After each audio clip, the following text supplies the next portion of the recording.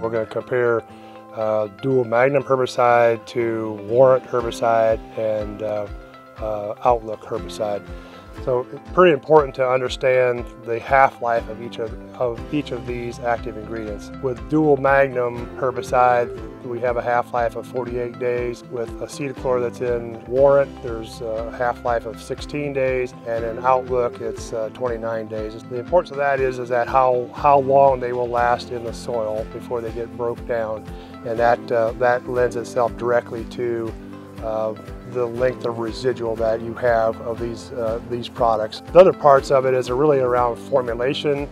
Uh, with Outlook, uh, has a fairly low water solubility score, and that's, that is a, a good thing whenever it doesn't take a whole lot of rainfall for it to get activated. But the, the opposite side of that is, is that it can move in the soil water pretty quickly. And with water hemp germinating in that top half inch to an inch of soil, you know, if you get some uh, rain early season, it's going to move out of that soil uh, profile, especially that rooting zone where uh, water hemp are going to germinate and, and you, are going to have a, a, disaster on your hand. The other side with warrant herbicide, a, a common product that's used uh, post-emergent, not only does it have a short half-life, it's also been encapsulated to try to help out with some uh, crop injury uh, that, it, that it could have if it wasn't.